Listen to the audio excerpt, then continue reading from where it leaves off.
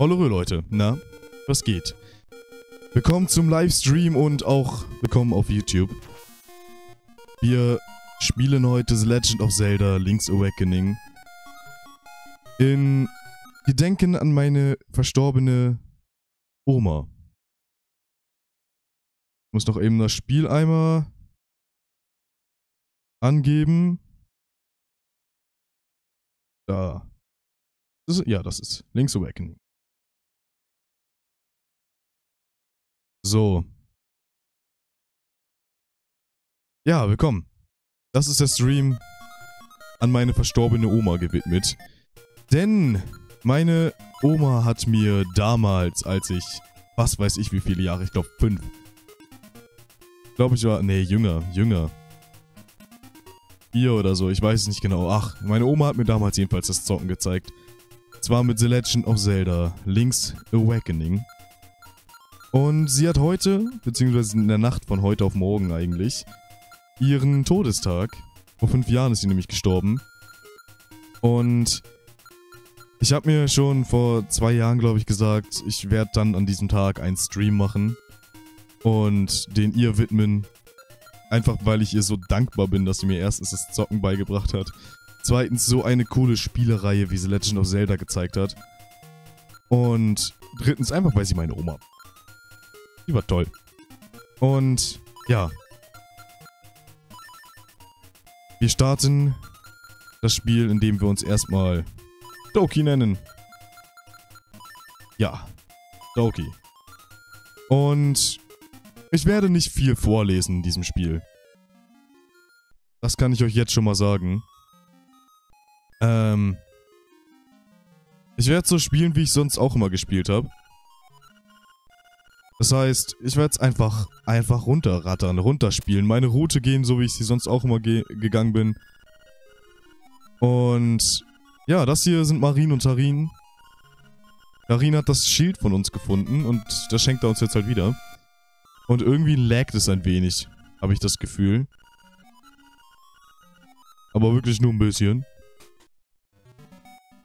Ja, ein bisschen sehr, ne? Heieiei. Moment, Moment mal eben. Kann ich ja ein bisschen was ändern. Äh, wo hatte ich das denn hingestellt? Hingestellt, da. Das. Wow, jetzt leckt es noch mehr. Hoch, GG. Ähm, obwohl, ja, Moment. Äh. Ach Gottchen. Damit müsst ihr kurz auskommen. Äh, das.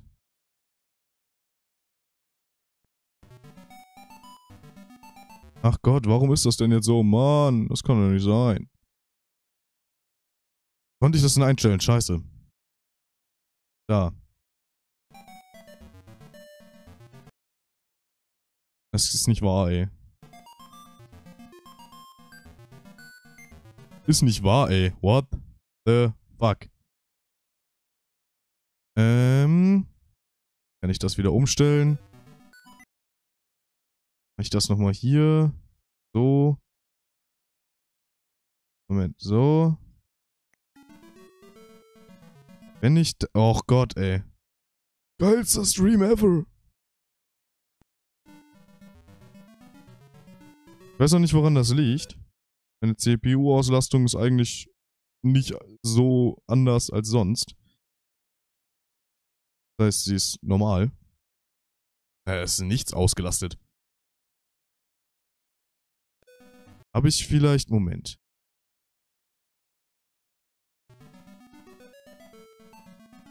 Da muss ich vielleicht was umstellen. Ja, Moment.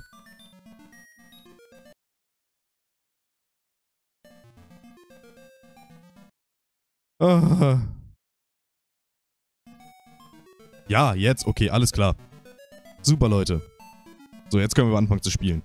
Gut, ähm, ich muss erstmal das auf A legen. Ich habe mein Schwert immer auf B. Immer, in jedem Spiel. Und wir müssen uns jetzt an den Strand begeben. Ich wurde getroffen, verdammt. Lol. Wir müssen uns jetzt hier an den Strand begeben. Mit dem Schild diese Stachelgegner wegschieben. Und hier zu unserem Schwert gelangen. Jetzt kommt erstmal diese nervige Eule, die kein Mensch leiden mag. Äh, ja. Wir sind der Grund, warum Monster hier so aufgeregt sind. Die Legende erzählt nämlich von einem Mann, der hierher kommt, um den Windfisch zu wecken. Da hat man eben einen kleinen Schreibfehler sehen können. Da stand nämlich Wecken mit KK. Und ja, wir müssen nämlich wecken, um die Insel wieder verlassen zu können.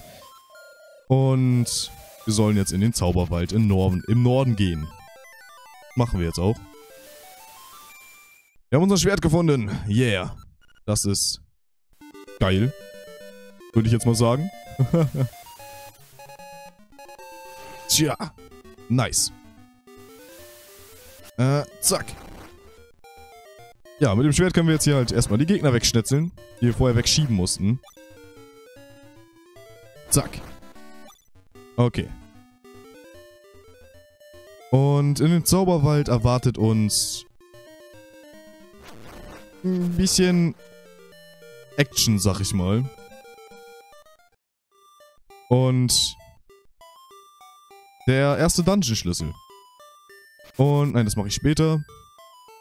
Ich habe so meine Standardroute, die ich immer gehe, in der ich immer alles mache. Oh, willkommen Zauberwald, ja. Die Insel ist auf keiner Karte markiert, kein Weg führt zur Außenwelt. Yo, nur wenn der Windfisch wach ist, können wir hier wieder verschwinden. Und auf der Insel Kokolint, auf der wir uns befinden, sind andere Naturgesetze. Und ja, bevor wir den Windfisch aufwecken können, werden wir einiges erleben und jetzt erzählt er uns von dem Wurmpalast und dass der Schlüssel hier in diesem Zauberwald liegt. Und ja, ich habe das Spiel schon so unzählige Male durchgespielt. Ich könnte das eigentlich alles sogar vorlesen, auch wenn ich es die ganze Zeit durchskippe. Aber naja. So, wir müssen jetzt uns erstmal hier durchbewegen. Zack. Zack. Oh, wir haben jetzt erstmal ein Götterhorn äh, bekommen. Das heißt, wir kriegen jetzt halb so viel Schaden vom Gegner. Wenn jetzt ein Gegner ein Herz Schaden machen würde, würden wir nur noch ein halbes Herz Schaden bekommen.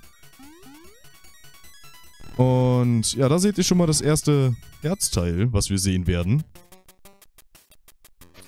Und hier einen Zauberpilz, den wir brauchen, um ein Item, unser erstes neues Item zu bekommen, glaube ich. Ja, unser, ja, ja, unser erstes neues, neues Item zu bekommen. Äh, das so. So, zack, Zack. Und weiter. Ans Herzteil kommen wir leider noch nicht ran, da wir noch keine schweren Sachen heben können. Dass ich da Schaden bekommen habe, ist ein bisschen unlucky. Aber okay, das verkraften wir. Das verkraften wir. Eindeutig. So, wir müssen jetzt nicht noch mehr Schaden kassieren. Das wollte ich eigentlich nicht sagen, aber okay. Ein Schaden. Ich mir so viel Schaden nehmen. Ich spiele mit Controller, das ist ein bisschen komisch. Kann nämlich nicht schräg runterlaufen, so wirklich. Zumindest nicht so, wie ich es möchte. Ist ein bisschen komisch. Aber werde ich mich schon dran, dran gewöhnen im Laufe der Zeit. So, hier müssen wir jetzt äh, ihr den Pilz geben. Schlummermorsche, yeah. Cool, ich zauber dir was. Ja. Ja, Schwulmerschwert, ich probiere es doch gleich mal hier aus. Yo. Wir sollten es jedoch nicht verschwinden. Okay, machen wir nicht. Wir haben das Pulver bekommen. Alles klar. Äh, manche Text, Text, äh, Passagen, Texte kann man mit B halt überspringen. Das heißt, man muss nicht die ganze Zeit A drücken oder nicht den ganzen Text durchlaufen lassen. Man drückt einfach B und der ganze Text ist weg. Einfach weg. Ziemlich cool. Oh, oh Gott, oh Gott. Okay, noch ein Götterhorn. Und zwei. Da zum Beispiel habe ich gerade den Text geskippt, indem ich B gedrückt habe. Und ja. Ja, ja. Oh, ich hoffe, das geht alles mit dem Sound so. Ich hoffe, es geht alles mit dem Sound so. So, wir müssen jetzt hier den lieben Waschbären entzaubern. Ähm. Und wir könnten den Text übers... Ja, gut, wir haben den Text übersprungen. Tarin, das war Tarin, der meckert halt oder der erzählt irgendwas und wir konnten hier halt vorher nicht durchgehen. Weil der Waschbär das nicht wollte. Und ja. Jetzt haben wir den Wurmschlüssel bekommen. Das Ding ist, jetzt kommt wieder die Eule und wir kommen nicht rechtzeitig wieder weg. Oh, nimm diesen Schlüssel, geh damit zum Wurmpalast und suche dort nach einem Musikinstrument. Yo, der Windfisch wartet bereits. Ja, unser Ziel in diesem Spiel ist es tatsächlich Musikinstrumente zu sammeln. Acht Stück sind es und diese Musikinstrumente sind halt in diesen verschiedenen acht Palästen und die brauchen wir, um später in das Ei des Windfisches äh, reinzukommen, um ihn aufzuwecken. Und ja, jetzt kommen wir, jetzt springe ich hier mal rein in dieses Loch und hier ist ein Herzteil. Und warum ich das jetzt erst mache und nicht eben schon gemacht habe, ist, wir kommen hier unten wieder raus und können halt ganz normal den Weg weitergehen. So hätten wir dann nochmal außen rum und hochrennen müssen und das hätte halt ein bisschen Zeit gekostet, sag ich mal. Und ich weiß nicht, immer wenn ich dieses Spiel spiele, spiele ich es recht schnell, sag ich mal, durch. Ist jetzt kein Speedrun an sich, aber ich spiele es schon relativ schnell. Das ist auch ein kleiner Trick, man kann die, den Schlüssel einfach von der Seite in dieses Schlüsselloch einpacken, wie es aussieht. Vielleicht ist in der Sa Seite auch nochmal so ein geheimes Schlüssellochfach oder so, ich weiß es nicht genau. Auf jeden Fall, ja, haben wir hier, oh, ein Teil der Macht und den Kompass bekommen. Ja, wir sehen jetzt mit dem Kompass, wo sich Endboss und Truhen befinden. Und ein akustisches Signal zeigt an, wenn wir einen Raum betreten, ob hier ein Schlüssel versteckt ist. Jetzt haben wir einen Teil der Macht. Dieses, dieser Teil der Macht beschleunigt uns. Wie ihr seht, wir sind ein kleines Stückchen schneller. Es gibt auch einen kleinen Trick, den man machen kann. Und zwar kann man rein theoretisch, wenn man es will, ähm, das Schwert jetzt wegpacken. Das heißt aus dem Inventar raus beziehungsweise nicht Inventar, aber unten aus dem A, B-Slot raus. Und ins Inventar stecken. Wir haben die Karte, hier haben wir die Karte gefunden, okay. Ähm, und dann geht der Effekt nicht mehr weg. Das heißt, ja, der Effekt bleibt einfach die ganze Zeit vorhanden, bis wir das Schwert halt wieder nehmen. Die Truhe holen wir uns später. Zack, wegschieben, jeden Schlüssel benutzen und weiterlaufen.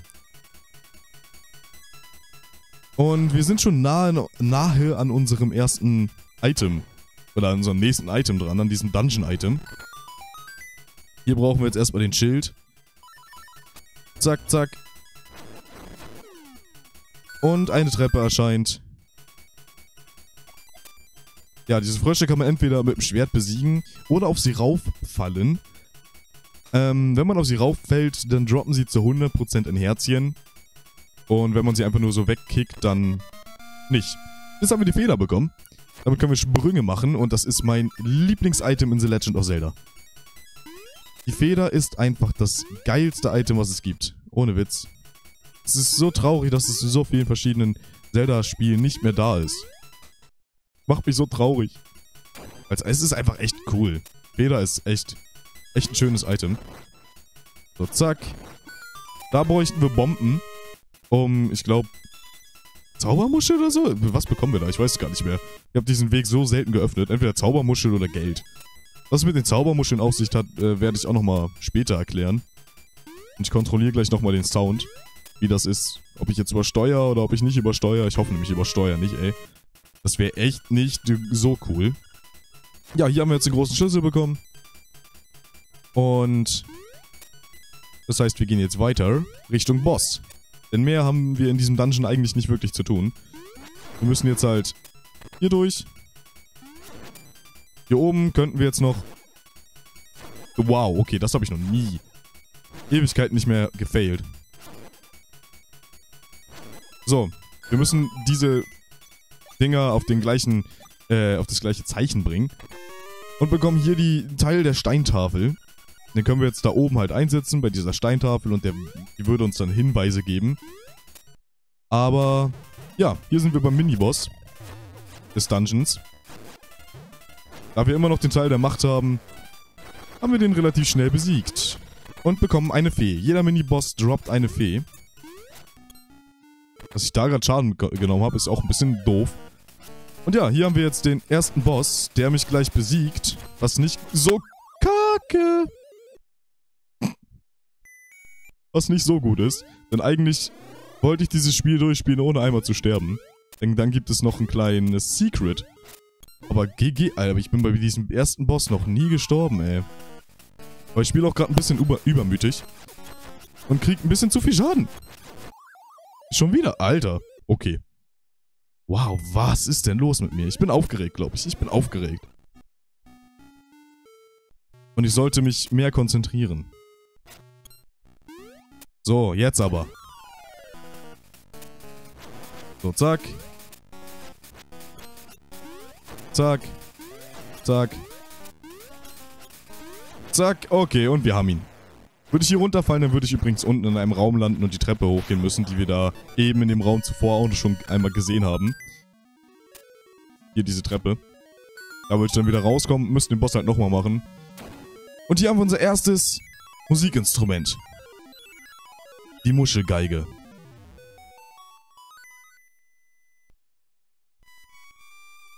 Und jedes Musikinstrument hat nochmal einmal einen extra Sound von sich selber. Immer wenn wir es einsammeln.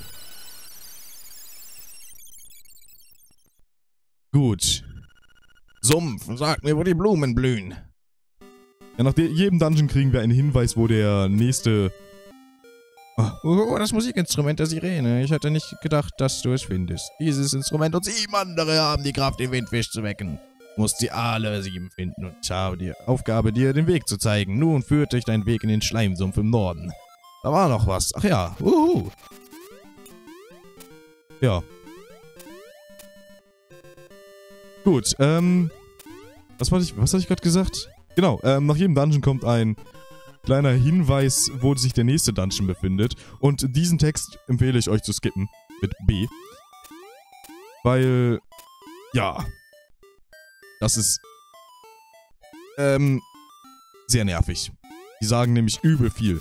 Die labern richtig viel. Und hier haben wir erst unsere erste Zaubermuschel. Diese Zaubermuscheln Muscheln brauchen wir, um später das Level 2 Schwert zu erhalten.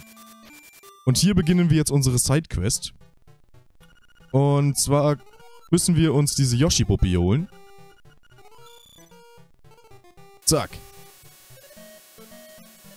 Mit B den Kran in die richtige Position bringen, mit A auch nochmal und jetzt einfach warten. Einfach warten. Ich kann hier leider nicht mein, meine Feder benutzen, das ist voll doof. Sonst würde ich hier rüberspringen. Mir ist einfach alles schnappen.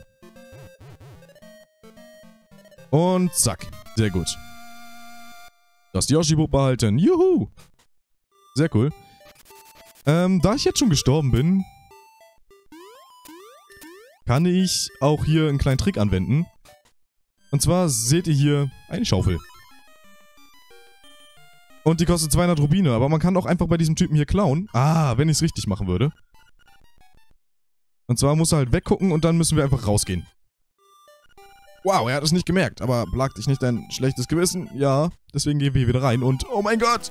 Du musst erst zahlen, das war meine Warnung. Jetzt zahlst du mit dem Leben. Ah. Ja, er bringt uns einfach eiskalt um. Eiskalt bringt er uns um. Und jetzt hat er hier erstmal Bomben, die wir uns auf jeden Fall schnecken. Die kaufen wir uns auch, ganz normal. Und hier seht ihr einen Bogen. Den snacken wir uns auch, weil 980 Rubine habe ich keinen Bock zu farmen, muss ich ja zugeben, ne? Und jetzt müssen wir halt auch nie wieder in diesen Laden rein. So, deswegen, falls ihr nicht sterben wollt, wäre es vom Vorteil, wenn ihr... Äh, wo muss ich die Yoshi-Puppe nochmal abgeben? Ach genau, ja doch, doch. Okay, alles klar. Äh, erstmal können wir hier jetzt in die... Sch äh, hier rein. Und ich glaube hier irgendwo. Dann was auf dem Fleck. Noch? Nicht? Hä? Okay, Moment. Irgendwo hier ist nämlich eine Zaubermuschel. Ach. Irgendwo hier ist eigentlich... Ach die, ach, die liegt da hier. Oh, okay. Ja, eine Zaubermuschel holen. What the fuck. Voll gefailt. Ähm... Und jetzt müssen wir die Yoshi-Puppe abgeben. Nee, warte mal, wo muss ich die Yoshi-Puppe nochmal abgeben?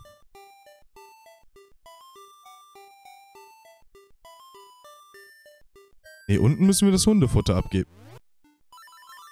Oder will... Warte mal. Oder will der Typ das... Äh, Kacke. Dass ich das nicht mehr weiß. Nee, der wollte nicht... Oder? Ne, was anderes hast nur her damit. Nee. Ach, oh Gott. Ja, klar. Mann, ey. Gut. Oh Gott, ich will mich hier... Ich will sagen, dass ich dieses Spiel 50 Mal durchgespielt habe. Unzählige Male. Yoshi-Puppe mussten wir hier abgeben, ne? Wieso gehe ich in diese Seite des Hauses? Ich weiß es nicht. Bei ihr hier müssen wir das abgeben.